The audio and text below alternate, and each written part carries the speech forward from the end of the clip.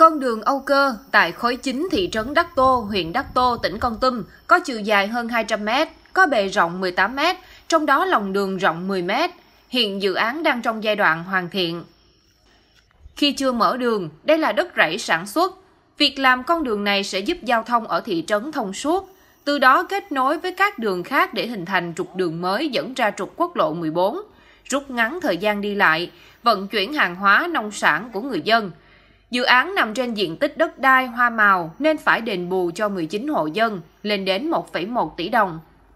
Hiểu được vai trò dự án nên 19 hộ đã tham gia hiến đất với trị giá 841 triệu đồng. Số tiền hơn 227 triệu đồng còn lại, nhà nước hỗ trợ cho các hộ dân bị thiệt hại lớn để ổn định cuộc sống.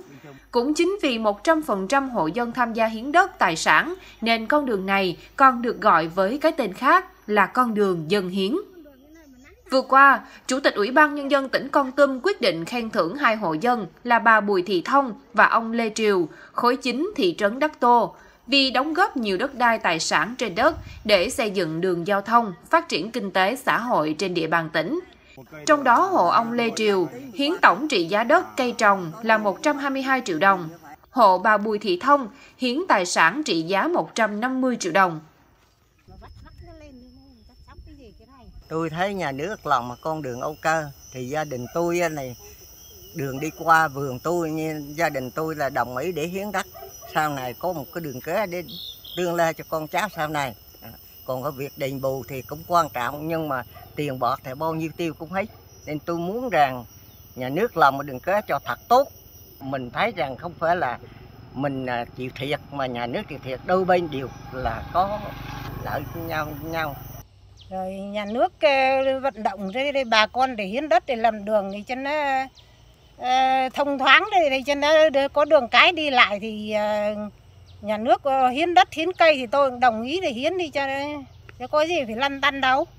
Quá phấn khởi luôn đi thì mặc dù là trong cái thời gian vừa qua thì các anh cũng biết là cái giá đất rất là sốt. Mà hiện nay thì cái các cái thửa đất đây thì giá trị rất là cao.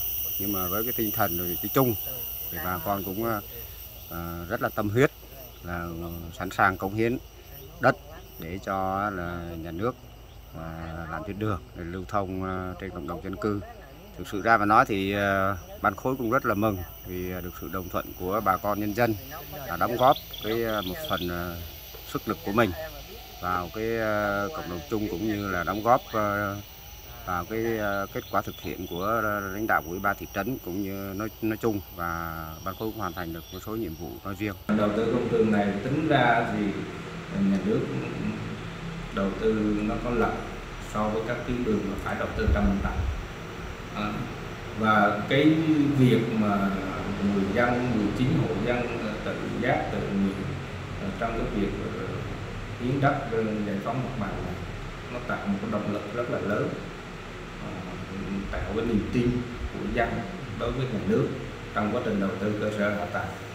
Để cùng với ờ, các cái nguồn lực khác ờ, và cái nguồn lực từ dân là rất lớn để mà góp phần thực hiện cái chủ trương lớn của đảng ủy. Ờ, đó là từng bước chỉnh trang đô thị và phấn đấu đến cuối nhiệm kỳ đạt các tiêu chí đô thị loại 4 miền núi ờ, theo nghị quyết đề ra. Được biết một con đường khác ở khối chính thị trấn Đắc Tô cũng được dân hiến là đường Lý Thường Kiệt. Con đường này xây dựng vào năm 2014, rộng 5 mét, có 75 hộ tham gia hiến đất tài sản. Vật liệu kiến trúc trên đất, con đường này xây dựng không tốn tiền đền bù cho người dân.